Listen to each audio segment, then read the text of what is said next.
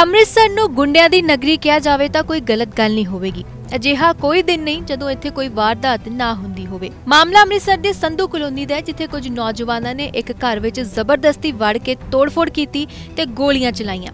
ਇਹੀ ਨਹੀਂ, ਦੋਵਾਂ ਧਿਰਾਂ ਵਿਚਾਲੇ ਖੂਬ ਇੱਟਾਂ ਪੱਥਰ ਵੀ ਚੱਲੇ। ਤੁਸੀਂ ਖੁਦ ਹੀ ਤਸਵੀਰਾਂ ਵਿੱਚ ਵੇਖ ਕੇ ਅੰਦਾਜ਼ਾ ਲਗਾ ਸਕਦੇ ਹੋ। ਮਾਮਲਾ 24 ਅਗਸਤ ਦੀ ਰਾਤ ਦਾ ਜਦੋਂ ਦੋਵਾਂ ਧਿਰਾਂ ਵਿਚਾਲੇ ਕਿਸੇ ਗੱਲ ਨੂੰ ਲੈ ਕੇ ਝਗੜਾ ਹੋਇਆ ਸੀ। ਉਸੇ ਦੀ ਰੰਜਿਸ਼ ਰੱਖਦੇ ਹੋਏ ਮੁਲਜ਼ਮਾਂ ਨੇ ਦੁਬਾਰਾ ਹਮਲਾ ਕਰ ਦਿੱਤਾ। ਲਖਵਿੰਦਰ ਕੌਰ ਮੁਤਾਬਕ ਆਪਣੇ ਮੁੰਡਿਆਂ ਨਾਲ ਘਰ 'ਚ ਬੈਠੀ ਸੀ ਕਿ ਅਚਾਨਕ ਅੱਧੀ ਰਾਤ ਨੂੰ ਚਾਰ ਨੌਜਵਾਨ ਉਹਨਾਂ ਦੇ ਘਰ ਜ਼ਬਰਦਸਤੀ ਆਏ ਤੇ ਘਰ ਦਾ ਸਾਰਾ ਸਮਾਨ ਤੋੜ ਦਿੱਤਾ ਤੇ ਗੋਲੀਆਂ ਚਲਾਉਣੀਆਂ ਸ਼ੁਰੂ ਕਰ ਦਿੱਤੀਆਂ। ਉਸਨੇ ਕਮਰੇ 'ਚ ਆਪਣੇ ਆਪ ਨੂੰ ਬੰਦ ਕਰਕੇ ਆਪਣੀ ਜਾਨ ਬਚਾਈ ਪਰ ਉਹ ਜਾਂਦੇ ਜਾਂਦੇ ਉਹਨਾਂ ਨੂੰ ਮਾਰਨ ਦੀ ਧਮਕੀ ਵੀ ਦੇ ਕੇ ਗਏ ਨੇ।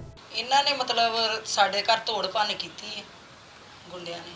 ਕੌਣ ਨੇ ਜੀ? ਕੀ ਨਾਮ ਉਹਨਾਂ ਇਹ ਹੈਗਾ ਪੱਦੜ ਆ ਸੰਨੀ ਆ ਚੈਂਚਲ ਆ ਤੇ ਬਬਲੂ ਘੋੜਾ ਹੈ ਲੱਡੂ ਆ ਹੋਰ ਅਣਪਛਾਤੇ ਆ ਨਾਲ ਇਹਨਾਂ ਦੇ। ਕਿੱਥੋਂ ਦੇ ਰਹਿਣ ਵਾਲੇ ਨੇ? ਇਹ ਹੈਗੇ ਜਾ ਹਸਨਬੁਰਦ ਕਲੋਨੀ ਦੇ ਨਾਲ ਮੇਨ ਸੜਕ ਪਿੱਛੇ। ਤੁਸੀਂ ਕਿੱਥੋਂ ਦੇ ਰਹਿਣ ਵਾਲੇ ਜੀ? ਸਾਡੀ ਕੋਈ ਦੁਸ਼ਮਣੀ ਨਹੀਂ ਹੈਗੀ ਇਹਨਾਂ ਨਾਲ। ਇਹਨਾਂ ਨੇ ਅੱਗੇ ਵੀ ਵਾਰਦਾਤ ਕੀਤੀ ਤੇ ਹੁਣ ਵੀ ਕੀਤੀ ਇਹਨਾਂ ਗੋਲੀਆਂ ਚਲਾਈਆਂ ਸਿੱਧੀਆਂ। ਘਰ ਵੜੇ ਨੇ ਇਹਨਾਂ ਦਰਵਾਜ਼ੇ ਤੋੜੇ ਨੇ ਸਾਰੀ ਤੋੜ ਭੰਨ ਕਰ ਦਿੱਤੀ। ਇਹਨਾਂ ਦੇ ਕੋ ਸਾਨੂੰ ਖਤਰਾ ਜੇ।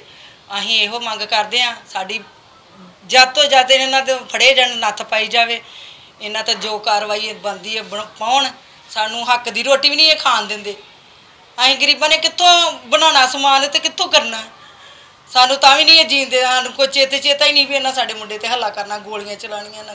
ਬੜੀਆਂ ਗੋਲੀਆਂ ਚ ਮੇਰੀ ਜਾਨ ਇਦਾਂ ਬਖਸ਼ੀ ਮੈਂ ਪਿਛਲੇ ਕਮਰੇ 'ਚ ਲੋਗੀ ਇਹਨਾਂ ਨੂੰ ਪਤਾ ਨਹੀਂ ਲੱਗਾ ਵੀ ਘਰੇ ਲੋਕ ਰਗੇ ਧਮਕੀਆਂ ਦੇ ਕੇ ਗਏ ਵੀ ਤੁਹਾਡੇ ਦੋਨਾਂ ਬੇਟਿਆਂ ਨੂੰ ਮਖਾਣਾ ਮੈਂ ਨਹੀਂ ਇੱਥੇ ਘਰ 'ਚ ਰਹਿ ਸਕਦੀ ਆਪਣੇ ਬੱਚੇ ਲੈ ਕੇ ਨਹੀਂ ਰਹਿ ਸਕਦੀ। ਮੈਂ ਉਦੋਂ ਦੀ ਲੁੱਕ ਕੇ ਰਹਿਣ ਡਈ ਆ। ਅੱਜ ਮੈਂ ਖੋਲਿਆ ਅੱਜ ਮੇਰੇ ਆਏ ਆ ਅੱਜ ਮੈਂ ਤੁਹਾਡੇ ਸਾਹਮਣੇ ਆਪਣੇ ਗੱਲਾਂ ਰੱਖੀਆਂ। ਤੇ ਮੈਂ ਅੱਜ ਬੂਹਾ ਖੋਲਿਆ ਜੇ ਤੇ ਅੱਜ ਮੈਂ ਅੰਦਰ ਵੜੀ ਜੇ। ਪਰ ਮੈਨੂੰ ਇਹਨਾਂ ਕੋ ਖਤਰਾ ਜੇ ਮੇਰੇ ਬੱਚਿਆਂ ਨੂੰ ਵੀ ਤੇ ਪੁਲਿਸ ਤੋਂ ਕੀ ਮੰਗ ਕਰਦੇ ਤੁਸੀਂ ਪੁਲਿਸ ਕੋ ਇਹੋ ਮੰਗ ਕਰਦੇ ਆ ਵੀ ਇਹਨਾਂ ਨੂੰ ਨੱਥ ਪਾਈ ਜਾਵੇ ਸਖਤ ਤੋਂ ਸਖਤ ਕਾਰਵਾਈ ਕੀਤੀ ਜਾਵੇ ਇਹਨਾਂ ਤੇ। ਇਹ ਦੁਬਾਰਾ ਇਹੋ ਜਿਹੀ ਹਰਕਤ ਨਾ ਕਰਨ। ਗੱਲ ਭਾਈ 15 ਦਿਨ ਮੇਰੇ ਹੱਥੀ ਹੋ ਗਏ ਦਿਨ ਤੇ ਮੇਰੇ ਹੱਥੀ ਪਏ ਸੀ ਤੇ ਕੁੱਟਮਾਰ ਕੀਤੀ ਮੈਨੂੰ ਇਕੱਲੇ ਨੂੰ ਪਏ ਸੀ। ਕੌਣ ਸੀ? ਕੀ ਨਾਮ ਇਹ ਉਹਨਾਂ ਦਾ? ਚੰਚਲ ਪੱਦੜ ਤੇ ਸਾਇੰਦੀਲਾ ਤੇ ਆਂਡਾ ਤੇ ਉਹ ਲੱਡੂ ਤੇ ਬਬਲੂ ਘੋੜਾ। ਕਿਹੜੀ ਗੱਲੋਂ ਤੈਨੂੰ ਪੈਂਦੇ ਆ? ਕਿਸ ਇਹ ਗੱਲ ਦਾ ਇਹਨੂੰ ਵੀ ਨਹੀਂ ਪਤਾ। ਇਹ ਗੱਲ ਦਾ ਮੈਨੂੰ ਵੀ ਪਤਾ ਸਰ ਕਿਹੜੀ ਗੱਲੋਂ ਪੈਂਦੇ ਆ ਕੀ ਚਾਹੁੰਦੇ ਮੇਰੇ ਕੋਲ ਕੀ ਨਹੀਂ। ਮੈਂ ਤੇ ਨਾ ਤੰਗ ਆ ਗਿਆ ਇਹਨਾਂ ਤੋਂ। ਜਾਂ ਬਹਿ ਕੇ ਗੱਲ ਕਰਨੇ ਮੇਰੇ ਨਾਲ। ਆ ਜਿਹੜੀ ਤੋੜ-ਫੋੜ ਕੀਤੀ ਗਈ ਹੈ ਘਰ ਦੇ ਵਿੱਚ ਇੱਕ ਦਿਨ 15 ਦਿਨ ਪਹਿਲਾਂ ਕੀਤੀ ਗਈ ਜਾਂ ਸ਼ਨੀਵਾਰ। ਕੀਤੀ ਭਾਈ। ਸ਼ਨੀਵਾਰ ਕੀਤੀ ਰਾਤ ਕੀਤੀ ਫੈਰ ਕੀਤੀ 2 ਵਜੇ। ਤੇ ਤੋੜ ਭੰਨ ਕੀਤੀ ਸਾਰਾ ਕੁਝ ਕੀਤਾ ਇਹਨਾਂ ਨੇ।